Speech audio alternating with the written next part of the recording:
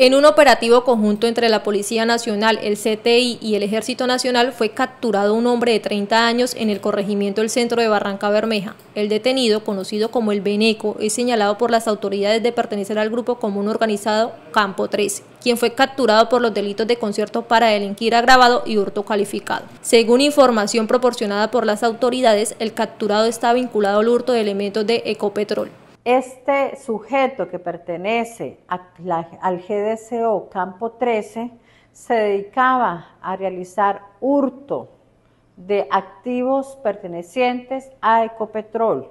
En este aspecto también debo informar que es requerido por autoridad competente por concierto para delinquir y hurto agravado y calificado. De esta manera seguimos protegiendo nuestros activos estratégicos y solicitamos una vez más a la comunidad que sigan aportando esa información tan importante que nos permite llegar a resultados como estos, capturas de actores criminales que sin lugar a dudas permiten minimizar día a día estos riesgos en materia de seguridad.